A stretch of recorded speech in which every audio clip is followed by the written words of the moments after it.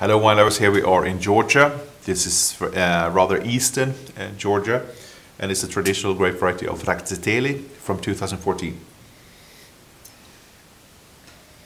We find this grape variety in a lot of uh, uh, different versions, not the least the uh, amphora-aged or skin macerated uh, ones. This is more of what I would say a classic uh, white wine vinification. No hints of oak, just pure varietal character here slightly mineral with fresh citrus, green apple, some grapey notes as well.